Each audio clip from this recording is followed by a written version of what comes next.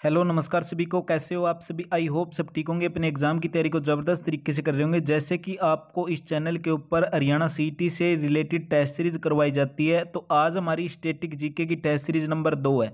इससे पहले हमने आपको हरियाणा जीके की test series number eleven with detail के साथ कवर करवाया था। इस क्लास के अंदर भी हम लगभग क्वेश्चन को डिटेल के साथ कवर करेंगे। चलिए, अभी ज़्यादा टाइम वेस्ट न करते हुए डायरेक्ट क्लास को शुरू करते हैं। अगर आप भी चैनल पर नए हो तो चैनल को सब्सक्राइब कर कर नोटिफिकेशन बेल को दबाना ना भूलें, ताकि आगे आने वाली हर अपडेट आपको आसानी से मिल सके। इसके अंदर बताना है कौन सा जोड़ा सही नहीं बनाया गया है। तो हरभजन सिंह का संबंध कबड्डी से नहीं होगा। Right answer option number one बिल्कुल करेक्ट हो जाएगा। साइना नेहवाल अक्सर एचएससी एग्ज़ाम के अंदर पूछ ली जाती है। एग्ज़ाम के अंदर खेल संबंधी क्वेश्चन एक या दो क्वेश्चन बन जाता है। साइना नेहवाल का संबंध बैडमिंटन से जवाला घाटा की अगर बात करें बैडमिंटन से विराट कोहली की अगर बात करें तो हो जाएगा क्रिकेट से।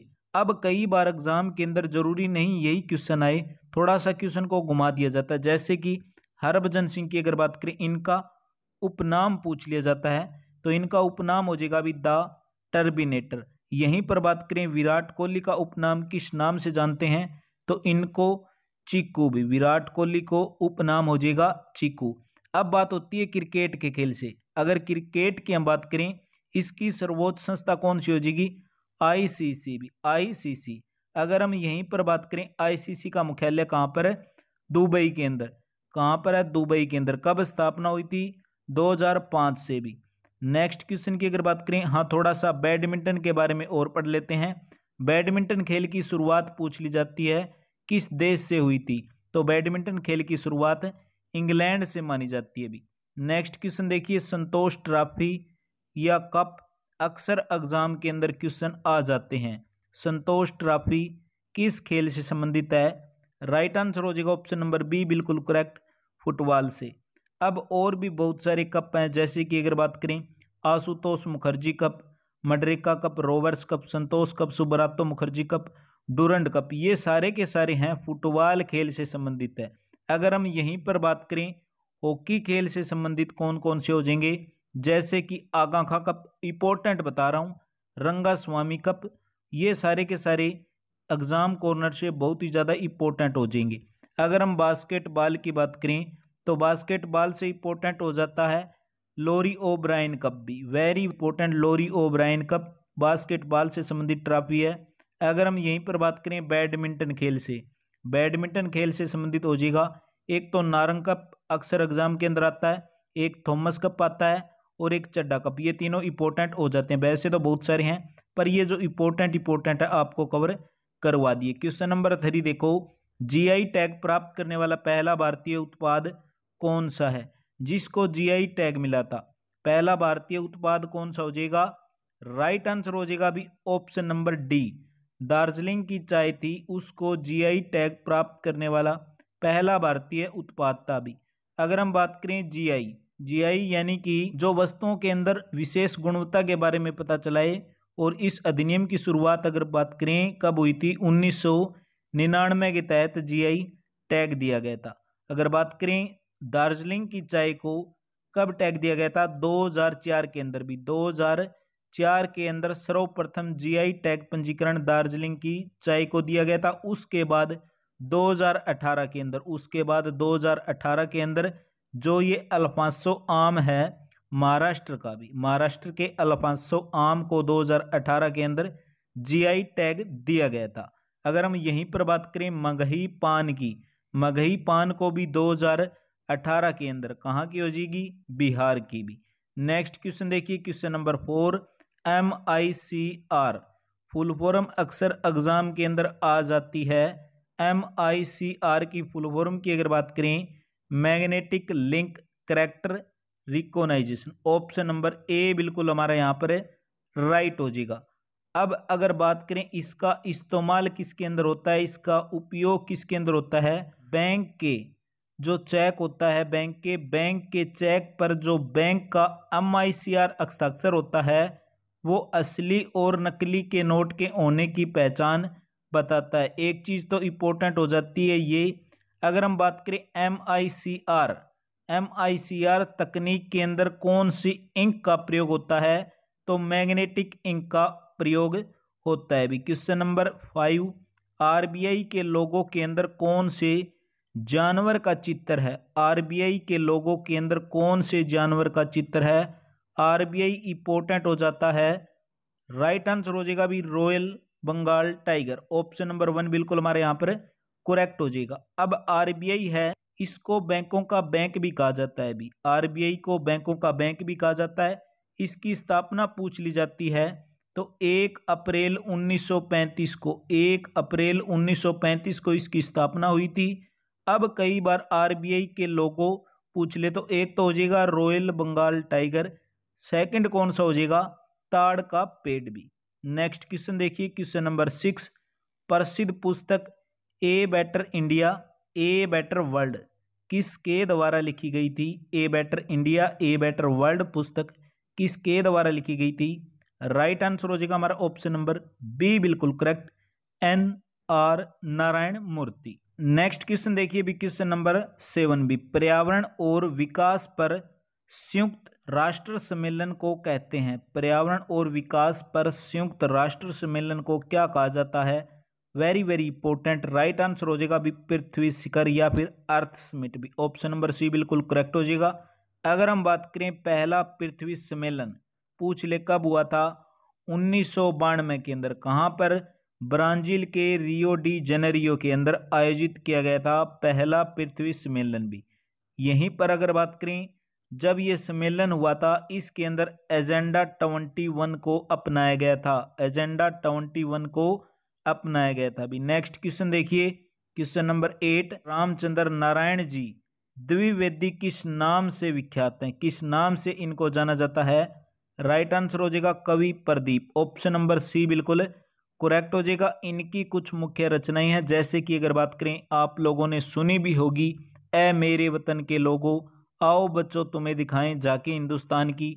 दे दी आज़ादी, इत्यादि ये सारे के सारे रामचंद्र नारायण जी द्विवेदी की रचनाएँ थी। अगर बात करें एचएससी मुंशी प्रेमचंद से रिलेटेड पूछ ली जाती है, अगर इनकी बात करें इंपॉर्टेंट हो जाता है, एक तो गोदान सेकंड रंगभूमि, गबन कर्म भूमि इस प्रकार ये इंपॉर्टेंट हो जाते हैं। अगर बात करें गोस्वामी तुलसीदास की, गोस्वामी तुलसीदास के द्वारा कवितावली, गीतावली विनय पत्रिका रामचरितमानस की रचना की गई थी और तुलसीदास अकबर के समकालीन थे। अगर बात करें संत कबीरदास ये किसके समकालीन थे? सिकंदर लोधी के समकालीन थे। उम्मीद करूँगा आपके सारे के सारे मैं डाउट क्लियर करता चला जा रहा हूँ। बस यही उम्मीद रहेगी। क्लास को प्लीज़ लाइक ज़रूर करें। आपका ये एक लाइक नेक्स्ट वीडियो के लिए बहुत सारा मोटिवेशन देता है। Question number nine cape of good hope के रास्ते भारत तक के समुद्री मार्ग की खोज किसने की थी? समुद्री मार्ग की खोज चौदह के अंदर वास्को डिगामा के द्वारा। ऑप्शन नंबर ए बिल्कुल करेक्ट हो जाएगा। अगर एग्जैक्ट डेट की हम बात करें तो सत्रह मई चौदह सौ अठानवे के अंदर खोज की गई थी। सबसे पहले भारत के अंदर कालिकट बंदरगाह पर सर्वप्रथम आया था। नेक्स्ट क्वेश्चन है टेन कौन सा जोड़ा सुमेलित नहीं है? कौन सा जोड़ा है? वो सही सुमेलित नहीं है। सोलह अक्टूबर, नौ अक्टूबर, पाँच अक्टूबर और पाँच अक्टूबर। यानी कि सोलह अक्टूबर को विश्व खाद्य दिवस, बिल्कुल राइट नौ अक्टूबर को विश्व डाक दिवस राइट आठ अक्टूबर को भारतीय वायुसेना दिवस। पाँच अक्टूबर की अगर बात करें तो पाँच अक्टूबर को अंतर्राष्ट्रीय वर्धन दिवस नहीं मनाया जाता। यानी कि अगर अंतर्राष्ट्रीय वर्धजन दिवस की बात करें, कब मनाया जाता है? एक अक्टूबर को भी। एक अक्टूबर को मनाया जाता है। अंतर्राष्ट्रीय वर्धन दिवस की अगर बात करें 1990 से मनाना क्या हुआ था अभी? शुरू हुआ था अभी।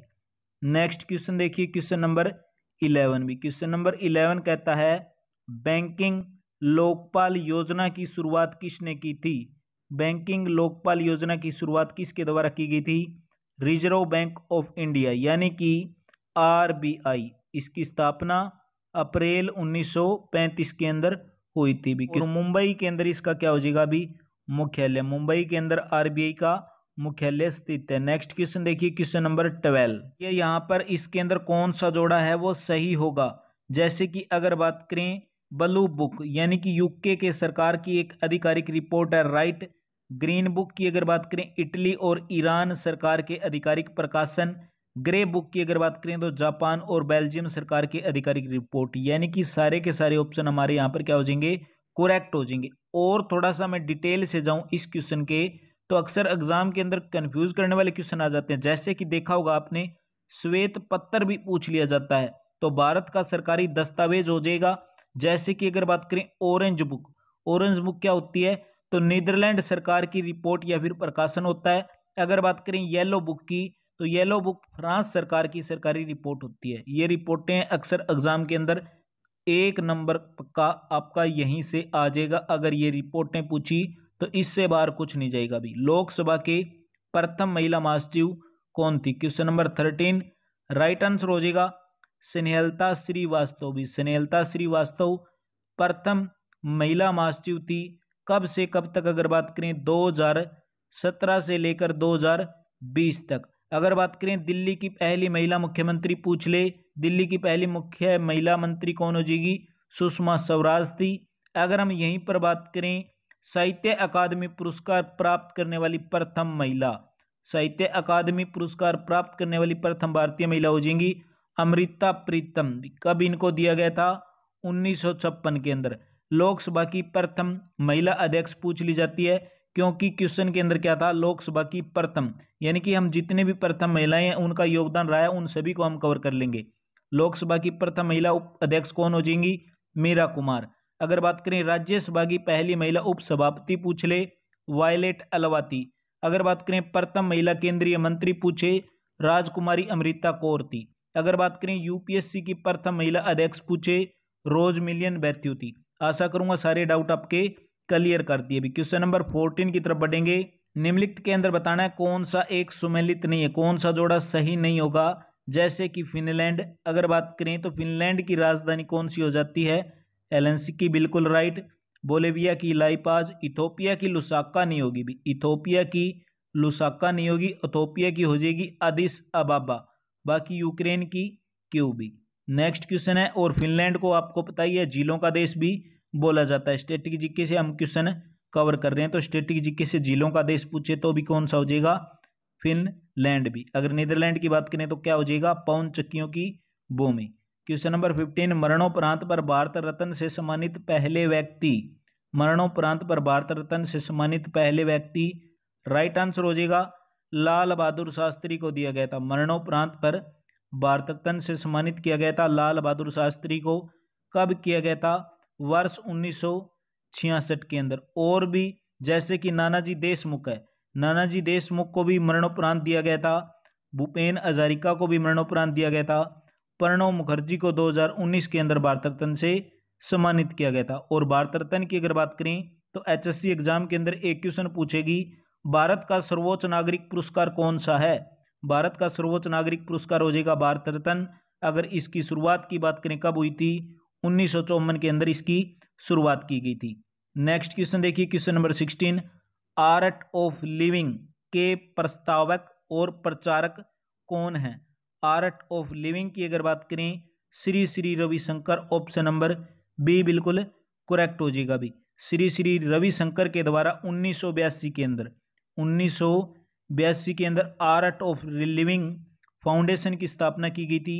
वर्तमान के अंदर अगर बात करें, इस संस्था के अंदर टोटल एक सौ बावन देशों में ये स्थापित है संस्था भी।